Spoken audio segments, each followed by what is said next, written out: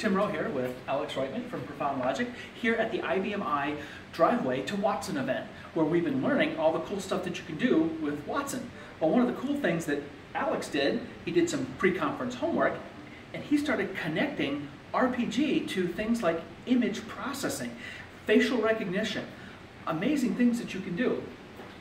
Yeah, image recognition is, is one, of the, one, one of Watson's capabilities, and it's pretty amazing what you can do with it. So let me demonstrate an example where we connect uh, facial recognition to an HR application where you clock employees in and out. Okay, let me show you how to create an application that uses Watson to clock your employees in and out. So uh, I'm going to start out by calling the application that I've created. And you'll see that this message comes up to allow the integrated camera. And this message is going to come up over and over again when the screen redisplays. Now, if I had SSL enabled on my server, then I could actually remember this decision and I wouldn't have to click allow every time. So here's the camera, and I'm going to go ahead and click Identify. And what's going to happen is my photo is going to get sent to Watson, and Watson will automatically recognize who I am, bring up my employee ID, and my name. So at this point, it allows me to clock in, clock out, or clear this information. Now I'm going to go ahead and clear and I just want to show you that it's not just my face that it recognizes. So we're going to br bring in another employee and we're going to go ahead and click identify again and you'll see that Watson at this point recognizes that this is a different employee. We have got a different employee ID and a different employee name. Now let's try this again but this time we'll have no one in front of the camera and let's see what Watson says. So here it basically says that it was not able to identify you and you know, it's asking you to position your face closer to the camera or provide more training to the Watson API. So that's how the application functions. So next, let me show you how this application was built. First, let's look at how the user interface and the client-side code was created. So here we have a rich display file that has basically two screens. The first screen uh, is the one that allows us to identify employees. The second screen is basically your failure message. Now on the first screens you see the main panel where all the information is but there's also a few hidden elements that are pretty important. There's a canvas element and there's an image data element that actually sends all the information back to the server.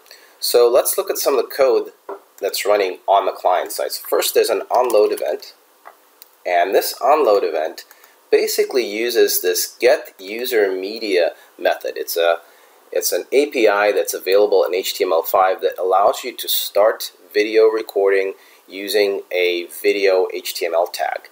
So this is pretty uh, straightforward. It basically refers to a video tag or actually by ID, something that's, that has an ID of video.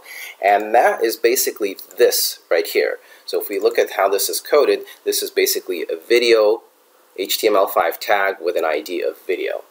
So that starts the video, but then the key piece here is this identify button. So the identify button, if we look at the on-click event, is able to grab an image from a frame of that video. And this is done with this draw image API. And the draw image uh, API or method works on a canvas. In this particular case, the canvas that we have is this hidden element. It's a hidden canvas element. So the draw image API grabs the image, puts it onto the canvas. We can then use the canvas to data URL method to convert the image on the canvas to a base64 data URL. We set it to a hidden field and then this last line over here sends the information to the server side by sending the identify flag. So it basically sends the information over to here, and this is where Watson comes in. So the first set of lines here basically bring in or require the Watson Developer Cloud. We then create the classify function as a function that can be called directly with no callbacks, and this is done by uh, using pjs.fiber.wrap. And if we look at what happens when the identify button or the identify flag is sent, what happens on the server side is that we simply call this classifier routine. We pass to it the classifier ID. So in, in this case, the, uh, the classifier ID is the employees. And this is something that we've trained Watson on. So I'll show you in a little bit how we trained Watson to recognize who the employees are. And then we're sending the image data. Now the image data comes in as a data URL in a uh, field called image data, but we have to parse that out into binary data, and there's a package called data URL that allows you to do that. So within this one line, we parse the base64 data and pass it over to Watson.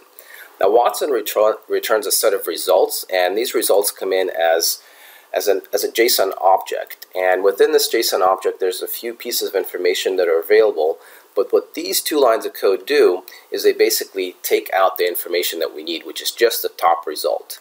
And if the top result exists, and if the confidence score within the top result is at least 50%, then we proceed to uh, grab the employee ID that comes as a class property, and then we run an SQL statement to grab uh, the employee name in this case, and we make the clock in and clock out buttons visible. Now, if there is no top result, or if the score is not at least 50%, then what happens is that we come into this else clause and we display the failed screen, which is that window that pops up. So that's the basic logic here to um, execute Watson. Let's see what it took to train uh, Watson. So first of all, going back to our session, we've got here a little program that I've created called Watson 3T, for T for training. And basically what this does is allows me to capture images. I use some of the same HTML5 client-side coding to capture these images. Each time I click this add photo, it saves an image. And basically you have to capture a number of images. So one image is not enough. And um, Watson requires a minimum of 10, but I found that even 10 images uh, is usually not enough. You need, a, you need a little more than that uh, to, to have Watson reliably recognize your face. So you capture a number of these images. The, these images are then zipped up, and you can then go to the Watson uh, visual recognition training tool, and you can create a classifier in here. So you can see you can, I created a classifier called employees. So the process for this is something like this. You create the classifier, you give the classifier a name, and within that classifier, you have multiple classes that you create and you train them with that zip file of images. Now each class name in my case is a different employee. So that's the basic process of, of getting Watson trained and once Watson is trained you can run your application. So I hope you found this useful and I hope uh, this was an interesting example for you that you can follow and implement within your own company uh, when it comes to Watson visual recognition.